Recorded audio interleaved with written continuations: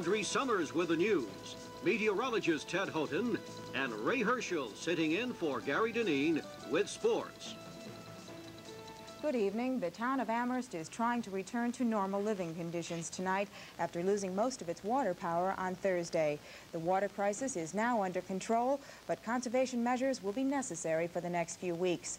If you live in Amherst, you're being asked to conserve your water by cutting back showering, flushing your toilets, and not watering your garden. Amherst and University of Massachusetts officials meeting today decided students could return to the classroom and return to their dormitories after 2 o'clock tomorrow. Larry Sperano reports the students can get back to their studies. And when thousands of students begin two to three weeks, Larry Sperano, TV 40 News. A major power shakeup in Poland's Communist Party today. The party Central Committee appointing Politburo member Stanislaw Kania to Edward Gierek's position. The official word is Gierek was ousted from office as first party secretary because he was hospitalized for heart disease. But unofficially, Gierek is out because of the recent labor unrest in the country. And there may be some changes going on in Iran, specifically regarding the fate of our 52 hostages, today ending their 44th week of captivity. The Parliament Foreign Relations Committee meeting today, preparing for debate on how to handle the hostage situation. Although Iranian Foreign Minister Ghotbzadeh is on his way out, he's telling Parliament the problem must be solved so the doors of friendship can open again to European and third world countries. Coming up, Reagan and Anderson trying to beat an incumbent president. So Campaigns for the presidency are moving into high gear. Ronald Reagan supporters are pushing to get the Republican nominee into the Oval Office.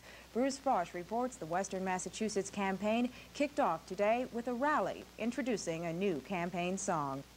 It's my country and I'm proud to vote for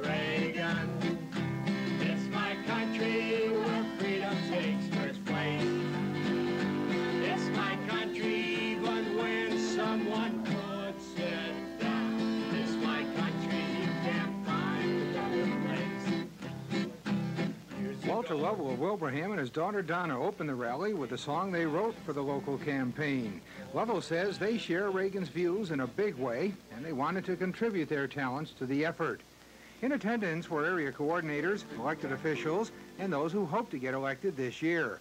House Minority Leader Bill Robinson keynoted the kickoff. In respect to some of Reagan's controversial statements, Robinson says Reagan is just having a little trouble in establishing his campaign rhythm like most new national candidates do. The rally also included a half-hour videotape in which Governor Reagan outlines his position on different issues. There were 400 meetings such as this all across the country today aimed at establishing committees to get into the neighborhoods and garner votes for the Reagan ticket. In Springfield, Bruce Frosch, TV 40 News. President Carter will be getting a run for his